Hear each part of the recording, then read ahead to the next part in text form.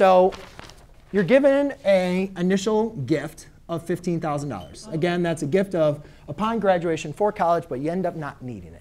So what can we do? So let's kind of go over a couple options. So option number one, all right, is you are, you are able to find an investment, and I'll talk about how you can earn these type of returns. And your return on your investment here is 12%. It's pretty high. It's a pretty good return on your investment.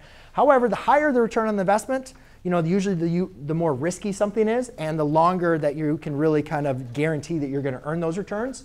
So we're only going to say that you know you can earn those returns for 10 years.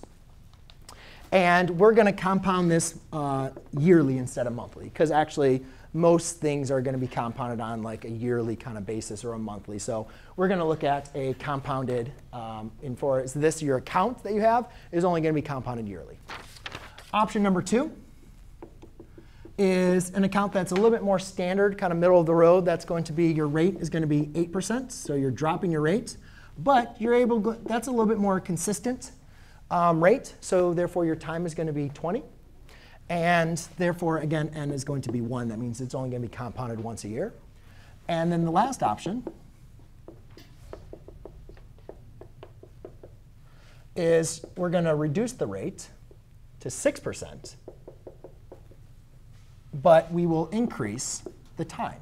So the lower the rate, we're going to say, hey, you know what? Let's just forget about this money. So let's kind of look at these two scenarios.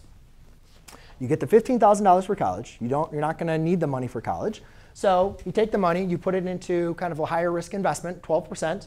You're going to get it for 10 years, right? And then once you're done college, you'll be starting like your new job, working on your second job, and you're going to use that money, right? Or you want that money. This next one is kind of like eh, option number two, maybe like in 20 years, um, you know, 8%, that's pretty much the historical average of the stock market. So maybe you're investing something in like, you know, good stocks and whatever else, and the economy does well. So for 20 years, you earn that 8%. And, you know, 20 years, you're going to be 40, so maybe you'll buy like a second, you know, your house or a job or kids or whatever else. You want that money at that time. The last example is going to be 6%. So maybe you're doing a little bit more conservative, maybe doing some stocks, some bonds, you know, some other things, but you don't really care about the money. You're like, thank you so much, parents, for giving me, you know, this money. And I'm just going to put it away. I'm going to do my own thing, save money on my, own, and then I'll come back 40 years and see what happened with that money, right? So it's kind of like three different approaches. And with each approach, though, we obviously know that the longer the time, the better. But what about the rate? Like, how bad does that rate affect things? Okay? So if you guys work now, again, this is a little bit different. This formula is a little bit different because this formula, we're not continually adding. We're literally just putting this money into an account and letting it go, right? So the formula for this one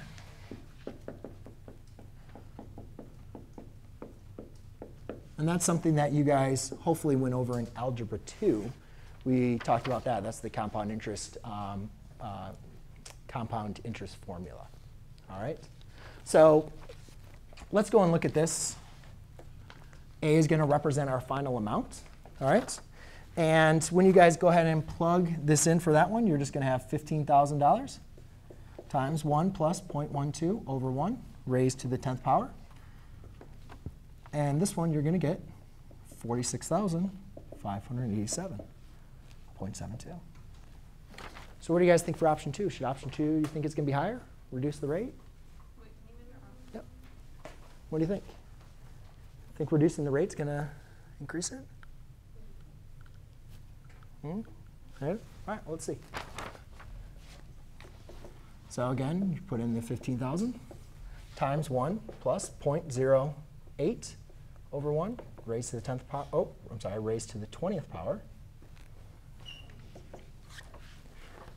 And guess what? 69,000. Uh, I don't know if this is a 4 over 9. I'll say a 9. So guess what? And again, guys, does the rate impact your rate of your how much you get back? Yes, of course. But guess what? Again, look at what the rate is. The rate is going to be like your, your base. That is going, that's going to affect your growth, but it's not going to affect it as much as your time, right? And this is really n times t, but since we're compounding it once a year, that's why it's 1 times the years. So, but this years is going to have a greater effect, in this case, at least on our percentage. And then if we do 40 years, wait for it, wait for it, I'll just give it to you.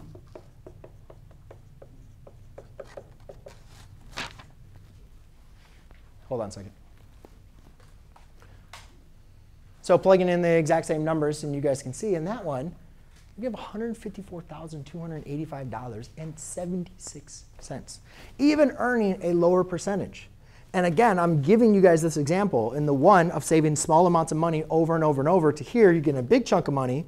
But again, there's different ways you can earn higher percentages and lower percentages, and we'll talk about that at the end. But the main important thing that I'm trying to instill with you guys in these first two examples is the power of the time that you invest. Compound interest is great, but it doesn't do much on a short term. The power of compound interest comes over the length of time. And the longer that you're able to continually earn compound interest, the better that you're going to get on your return on your investment, right?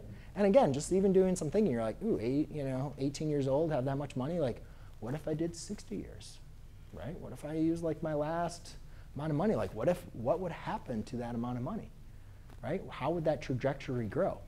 Okay. So again, the time is going to be giving us that power of the compound interest. All right, and time is very important. So compound interest is the one thing you need to understand, right? Earning money on your money. But the second thing is the power of time, okay?